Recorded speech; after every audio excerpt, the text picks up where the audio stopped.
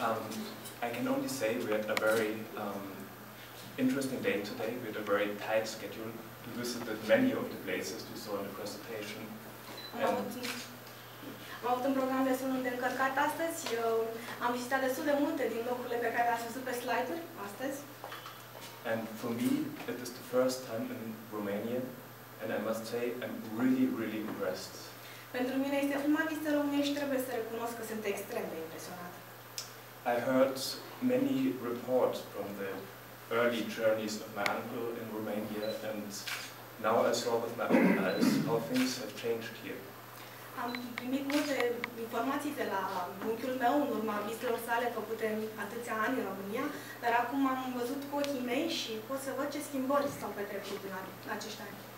And I think this was only possible because the spirit, the helpful spirit of the people here um, is so strong.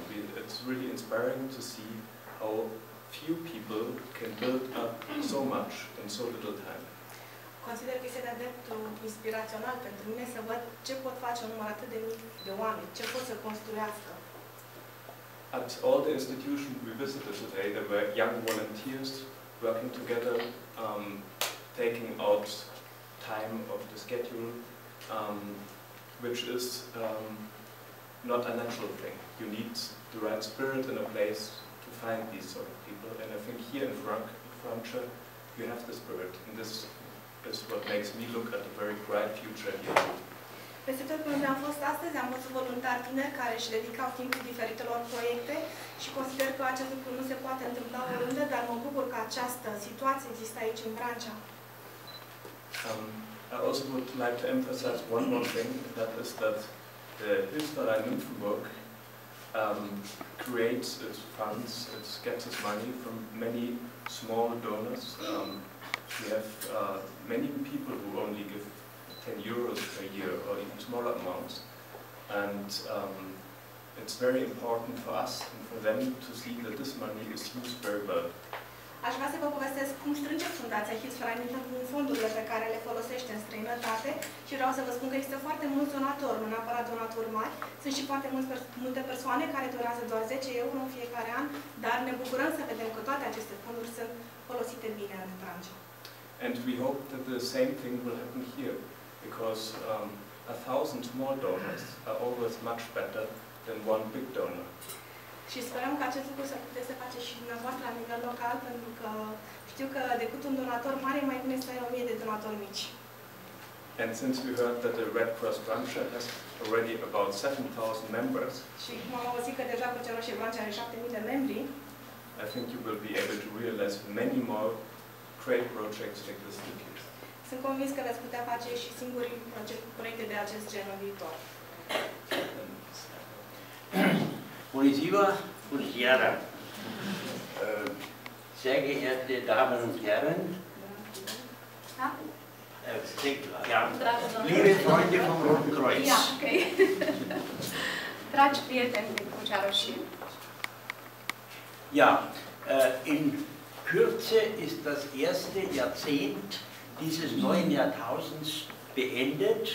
Und zu Anfang des neuen Jahrtausends war ich 2002 das erste Mal hier, um hier mich umzusehen.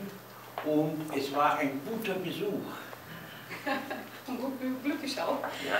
uh, spune dumnealui că suntem, a auzit, a ascultat raportul din anul 2009 și dânsul vizitează România din anul 2002 și a văzut câte lucruri s-a realizat din anul 2002 și până în anul 2009 și zic, crede că bine a făcut că a venit în anul 2002.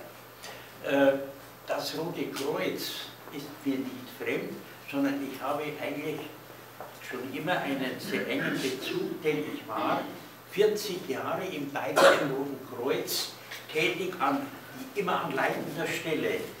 Crucea Roșie nu este străină de dumnealui, întrucât a lucrat 40 de ani în Crucea Roșie Bayern a condus activități importante, în mod special pe cele financiare. Und 1974 wurde ich plötzlich vom Präsidenten des Bayerischen Kreuzes und von der Geschäftsleitung gerufen und die haben gesagt, Sie machen jetzt Auslandsprojekte, einfach so.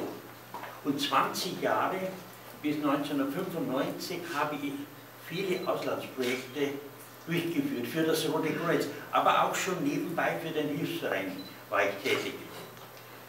Când s-a apropiat de sfârșitul sau mijlocul celor 40 de ani, cu 20 de ani înainte, a început să-și pregătească un om pe care să-l învețe să conducă mai departe activitățile din Crucea Roșie și a ajuns cumva cu un picior și în uh, Fundația Hisfera Nifenburg și la un moment dat, după cei 20 de ani, a spus continuați mai departe munca în Crucea Roșie, eu rămân în Hilsverein Nifenburg. Äh, der Hilfsverein Nymphenburg ist in die Projektarbeit direkte, konnte erst einsteigen, nachdem Äh, die osteuropäischen Länder geöffnet waren, ab 1990.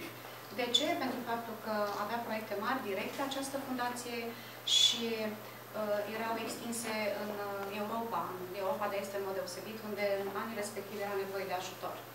Aber meine Erfahrungen habe ich eigentlich gewonnen aus vielen Besuchen in Südamerika, in Afrika, in Asien und weiß Gott wo. A vizitat uh, și a sprijinit uh, prin proiectele lor, ați auzit în câte țări proiecte. Ja, äh, jede Projektarbeit, wenn sie erfolgreich sein soll, braucht Ansprechpartner, kompetente Ansprechpartner vor Ort. Und wir haben die, waren in der glücklichen Lage, dass wir in Frau Davidian hier eine sehr gute Organisatorin angetroffen haben, wo wir Vertrauen, sofort Vertrauen haben, dass sie das, was wir organisieren, was wir projektieren, dass das gut umgesetzt wird. Ja, ja, so ist es. Ich bin nur Dolmetsch. Ich bin Traductor gesagt. Să traduc asta despre mine. Uh, spune că fiecare lucru la proiect sau proiect în lucru a solicitat întotdeauna persoane competente, indiferent unde a lucrat, în ce țară și în ce organizație, și se bucură că la Vrancea a găsit în persoana mea o persoană, un bun organizator, uh, extrem de rapid și o comunicare uh, bună, pe care astăzi am numit-o ca post de 5 stele.